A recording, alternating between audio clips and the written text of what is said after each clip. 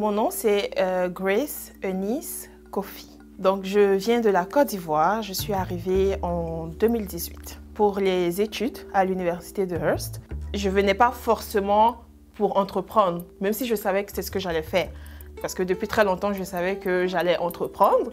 Mais euh, quand je suis arrivée, il, suffit juste de, de regarder autour de toi, de te de te renseigner un petit peu sur la vie des gens, sur comment les gens vivent, ce qui manque, et puis tu peux lancer une entreprise. Premièrement, la première entreprise que j'ai créée, c'est pas euh, relié à la communauté, à Hearst, c'est le Cage Planner, qui est un agenda. Ensuite, j'ai créé euh, Cage Cleaning Company, qui est une société de nettoyage ici à Hearst. Là, c'est pour Hearst, parce qu'il y avait un véritable, un véritable besoin.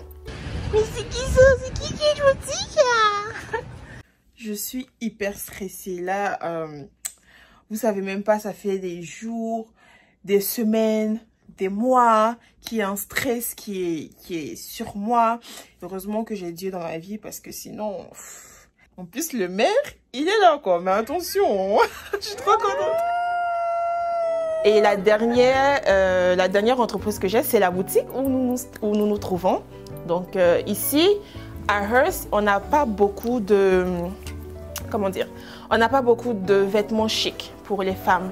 S'il y a une cérémonie, s'il y a un anniversaire ou un mariage même, on n'a vraiment pas de vêtements pour faire une belle sortie.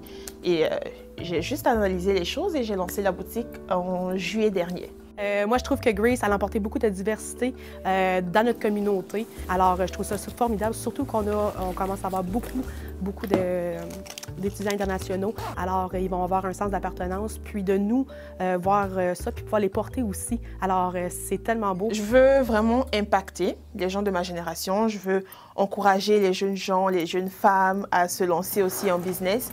Je suis l'exemple même qu'on peut, étant immigrant, qu'on peut réaliser des choses dans un autre pays, qu'on peut faire des choses et que amener d'autres personnes à monter dans le bateau avec nous.